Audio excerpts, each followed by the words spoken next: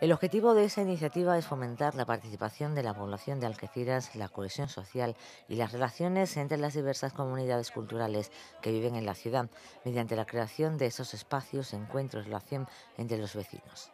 La fiesta de la primavera incluye espacios en los que los monitores y voluntarios ayudan a los asistentes a participar en actividades como el taller de trenzas africanas, el de elaboración de marcapáginas personalizados, el de flores del mundo, el taller para saber cómo tener un huerto en una maceta o el de coronas de flores. Tampoco faltaron los talleres de baile y zumba. Como no, la gastronomía fue un capítulo relevante.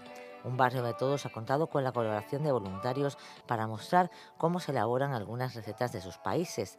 Además, miembros de la Asociación de Vecinos de los Toreros elaboraron gazpacho como plato típico de Andalucía. Para finalizar la fiesta, los asistentes han podido disfrutar de la animación infantil y de una Holy Party en una típica fiesta de la India.